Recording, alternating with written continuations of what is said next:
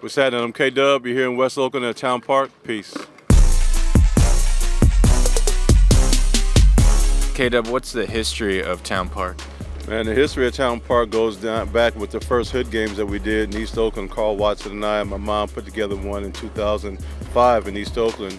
And from that day on, I wanted to gather our skate community together with our artists and musicians and create a venue, create a, a go-to event. And from that, we kept pushing and doing events in the streets, in the in the, in the schools and parking lots, getting it to the point where I was able to talk to the city, and um, we were able to take over the space here about six years ago. So that next phase includes Levi's. How did they get involved, and what are they bringing to the table here? Man, it was amazing. Uh, basically, the connection was made through Kent at uh, FTC Skate Shop when he did the first For the Cash event, actually two years ago.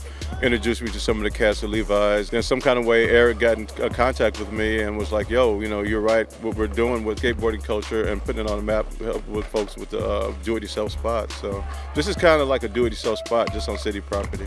And this is only phase one, right? Yeah, we hope that we can get, you know, finish it off. You know, at least maybe keep the wood mini, but other than that, you know, start phase one and start maybe phase two at the beginning of the year.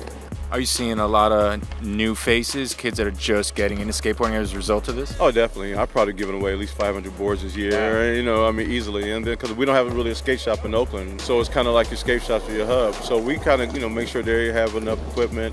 And then also, we're getting so many kids that are coming out of the hills and other parts of the Bay Area to participate here. And what's your story? I'm told that you're an art teacher by day? Yeah, I'm an art teacher, man. Yeah, I, you know, I used to skate a lot when I was younger, you know, skated Marina Del Rey Skate Park. My high school was LA High with those banks on the front. You know, I kind of knew about skate culture a little bit, so when I was teaching Oakland High School, started a skate club after seeing so many youth starting to be gravitated back towards the sport and decided to start a skateboard club. And from that, we started doing hood games, and now we have a skate park here in West Oakland. You know, what it is is like uh, just an extension of the classroom, you know. So what we're doing in the classroom, even the other school I'm working on now, Willow Creek Academy in Sausalito, we just opened up a skate park there. So a lot of things that my students are doing are for that public park. We do projects in the classroom, but mainly my thing is about getting the artwork out of the classroom. Venue like this, having the art and the music and everything, it just goes hand in hand. And there's an X Games tied to this park, correct? Oh yeah, I mean X Games has been there from the beginning. It's like right at the beginning when I started doing hood games. I think Carl and I we were at the X Games in 2004 in LA. Just started talking about doing the hood games, and